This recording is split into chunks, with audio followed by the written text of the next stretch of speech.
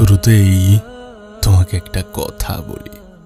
শুধু যে তুমি তেমনটা কিন্তু নয়। না, শুধু যে তুমি তেমনটা কিন্তু নয়। এ পৃথিবীর প্রত্যেকটা মানুষই পরিস্থিতির শিকার। এ পৃথিবীর প্রত্যেকটা মানুষের জীবনেই খারাপ এবং ভালো সময় আসে। আর তুমি, আমিও তার ব্যতিক্রম নয়। আমাদের জীবনেও খারাপ সময় আসে, ভালো সময়ও আসে। হতে পারে তোমার সময়টা খুব একটা ভালো যাচ্ছে না। হতে পারে সমস্ত কিছু মনের মতো হচ্ছে না। তুমি যেমনটা চাও, তুমি যেমনটা চেয়েছিলে। তবে শোনো, তোমাকে বলি, আসলে মানব জীবনটা আনস্ক্রিপ্টেড। তোমার আমার জীবনটা আনস্ক্রিপ্টেড। এ পৃথিবীতে কোনো কিছুই তোমার আমার পরিকল্পনা অনুযায়ী হয়নি আর হবেও না। তাই বলে এমনটা নয় যে সমস্ত কিছু আমাদের বিপক্ষে হবে। এমনটা কিন্তু নয়। আসলে কি বলতো, এ পৃথিবীর পরিচালক যিনি তোমাকে, আমাকে এই পৃথিবীতে পাঠিয়েছেন, তিনি সর্বশ্রেষ্ঠ পরিকল্পনাকারী। হ্যাঁ তিনি সর্বশ্রেষ্ঠ পরিকল্পনাকারী। বাস্তবে তিনিই জানেন আমাদের জন্য কোনটা সঠিক এবং কোনটা বেঠিক, কোনটা উত্তম কোনটা উত্তম নয়। তিনি সব থেকে বেতার জানেন। আসলে আমাদের হাতে কোনো কিছুই নেই। আমাদের হাতে যেটা আছে সেটা হচ্ছে মেহনত। হ্যাঁ পরিশ্রম। ফল কি আমাদের হাতে আছে নাকি? সেটা তো তিনি ডিসাইড করেন। তাই তো তোমাকে বলি, নিজের হান্ড্রেড পার্সেন্ট দেওয়ার চেষ্টা করো। জীবনে যাই করো না কেন, নিজের একশো শতাংশ দেওয়ার চেষ্টা করো। নিজের পুরোটা দেওয়ার চেষ্টা করো। আর যদি নিজের হান্ড্রেড পার্সেন্ট দেওয়ার পরেও তোমার সমস্ত কিছুর সমাধান না হয়, যদি রেজাল্টটা নিজের মনের মতো না হয়, তাহলে দুঃখ নিও না। তাহলে কষ্ট নিও না। তার কারণ জীবনটা আনস্ক্রিপ্টেড তার কারণ ফল আমাদের হাতে নেই। আমাদের হাতে যেটা আছে, সেটা হচ্ছে মেহনত। তুমি তো মেহনত করেছ, তাহলে দুঃখ কেন নেবে? তুমি তো পরিশ্রম করেছ, তাহলে কষ্ট কেন নেবে?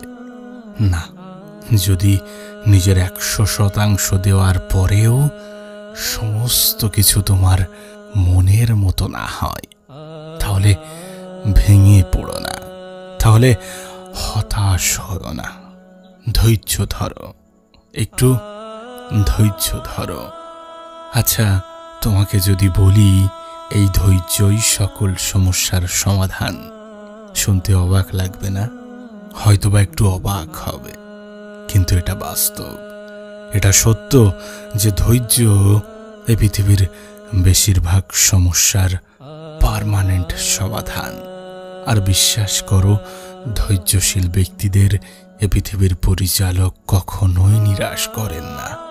এ পৃথিবীর পরিচালক দুই ধরনের মানুষদেরকে অধিক পছন্দ করেন। এক, মেহনতি, দুই, ধৈর্যশীল। পরিস্থিতি যেমনই হোক না কেন ধৈর্য ধরো। জীবনটা যেমনই হোক না কেন, মেহনত করো। মনে রেখো, মেহনতের কোনো বিকল্প হয় না। না, মেহনতের কোনো শর্টকাট হয় না। এবং মেহনত এতটা এতটা নীরবে করো যেন তোমার রেজাল্ট দেখে এ পৃথিবীবাসী অবাক হয়ে যায়। মেহনত এতটা নীরবে করো যারা তোমার প্রতি মোটেই বিশ্বাস করতো না। তারাও যেন বিশ্বাস করতে শুরু করে দেয়। প্রিয় ভাই আমার, ছোট্ট বোনটি আমার, তোমাকে বলি, শোনো, তুমি এ পৃথিবীর যে কোনো সফল ব্যক্তির উদাহরণ নিতে পারো। তুমি এ পৃথিবীর যে কোনো সুখী ব্যক্তির উদাহরণ নিতে পারো। তাদের মধ্যে ওই একটা জিনিসই কমন খুঁজে পাবে। ধৈর্য। জীবনে বড় কিছু করার জন্যে সফলতা পাওয়ার জন্যে, সুখী হওয়ার জন্যে, ধৈর্যশীল হওয়াটাও অনেক বেশি গুরুত্বপূর্ণ, অনেক বেশি প্রয়োজনীয়। ধৈর্য ধরো, পরিস্থিতি যেমনই হোক না কেন, ধৈর্য ধরো। তুমি হয়তোবা জানলে অবাক হবে, এ পৃথিবীতে সব থেকে বেশি পুরস্কার ধৈর্যশীল ব্যক্তিরাই পেয়েছেন। এ পৃথিবীতে সব থেকে বেশি তিরস্কার ধৈর্যের অমান্যকারীরাই হয়েছেন। আমি একটা কথা প্রায় বলি, আজকের দিনটা হয়তোবা কঠিন, কালকের দিনটা হয়তোবা আরও বেশি কঠিন হবে, কিন্তু আগামী পরশু অনেক বেশি সুন্দর হবে, আগামী পরশুটা অনেক বেশি সুখের হবে, তোমার মনের মতো হবে। শুধু ধৈর্য ধরো, শুধু একটু অপেক্ষা করো। অপেক্ষা করো এই কারণে, কারণ সময় পরিবর্তনশীল। হ্যাঁ সময় পরিবর্তন হতে সক্ষম। আর নিঃসন্দেহে, যদি এটা তোমার খারাপ সময় হয়ে থাকে, তাহলে এ সময়টাও পরিবর্তন হয়ে যাবে। তুমি যেমনটা চেয়েছিলে, তেমনটাই হবে। শুধু একটু ধৈর্য ধরো। প্রিয় ভাই আমার, কোনো কিছুই একদিনে হয় না। না, এ পৃথিবীতে কোনো কিছুই একদিনে হয় না। অপেক্ষা তো তোমাকে করতেই হবে। ভরসা রাখো, নিজের উপর থেকে কখনো ভরসা উঠিয়ে নিও না। নিজেকে কখনোই হতভাগা মনে করো না। তুমি জানলে অবাক হবে, এ পৃথিবীতে এমন হাজারো মানুষ আছে যারা তোমার মতো জীবন পাওয়ার স্বপ্ন দেখে। হ্যাঁ এ পৃথিবীতে এমন হাজারো মানুষ আছে, তাই নিজেকে হতভাগা মনে করো না। জীবনে বড় কিছু করার জন্যে ধৈর্য তো ধরতেই হবে। আসলে আমাদের সমস্যাটা কোথায় জানো? আমরা সাধারণত সেই সমস্ত জিনিসকে নিয়েই একটু বেশি ভাবি যেটা আমাদের আয়ত্তের বাইরে। আমরা সাধারণত সেই সমস্ত জিনিসগুলোকেই একটু বেশি গুরুত্ব দিই, যেটা কখনোই আমাদের দ্বারা নিয়ন্ত্রিত হওয়া সম্ভব নয়। আর সেই জন্যেই হয়তোবা আমরা বেশি পরিমাণে দুঃখ পাই। সেই জন্যেই হয়তোবা মানুষ হতাশার শিকার হয়। সেই জন্যেই হয়তোবা আমরা নিজেদেরকে হতভাগা মনে করতে শুরু করে দিই।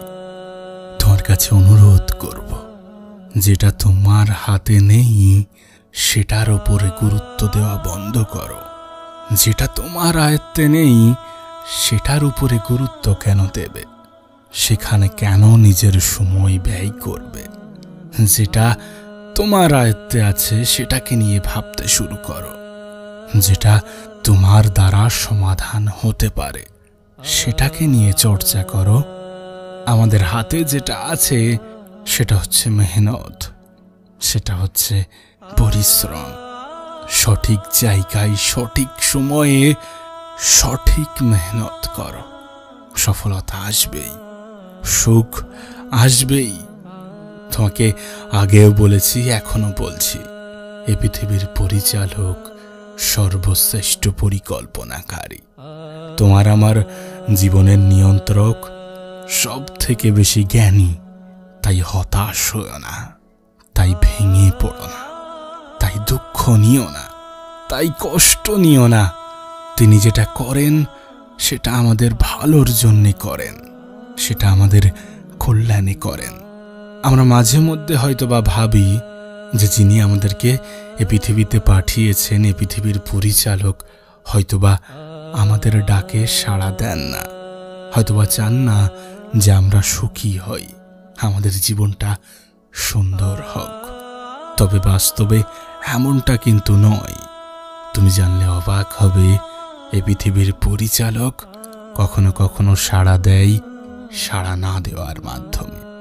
হ্যাঁ তোমার প্রত্যেকটা ডাকেই তিনি সাড়া দেন। কখনো কখনো সাড়া না দেওয়ার মাধ্যমে। তাই হতাশ হও না, নিরাশ হও না। এ পৃথিবীর পরিচালকের উপর থেকে বিশ্বাস হারিও না। নিজের উপর থেকেও বিশ্বাস হারিও না। যদি তুমি পজিটিভলি ভাবো, যদি তুমি পজিটিভ চিন্তা করো, তাহলে সমস্ত কিছুই সম্ভব। হ্যাঁ তবে সেটা একদিনে নয় সময় লাগবে। হয়তোবা অনেক বেশি সময় লাগবে। একটু ধৈর্য ধরো, ভরসা রাখো, বিশ্বাস রাখো। নিজের উপর এবং এই পৃথিবীর পরিচালকের উপর বিশ্বাস রাখো যে তিনি সর্বশ্রেষ্ঠ পরিকল্পনাকারী। বিশ্বাস রাখো তিনি যেটা করেন, সেটা তোমার আমার কল্যাণে করেন। হ্যাঁ সেটা তোমার আমার কল্যাণেই করেন। আমাদের জীবনে এমনও কিছু পরিস্থিতি আসে যখন আমরা নিজেদেরকে প্রচুর একা মনে করি, নিঃস্ব মনে করি। কিন্তু বাস্তবে আমরা একা নই। আমাদের সাথে আমাদের জীবনের নিয়ন্ত্রক আছেন। তাই একটু ধৈর্য ধরো।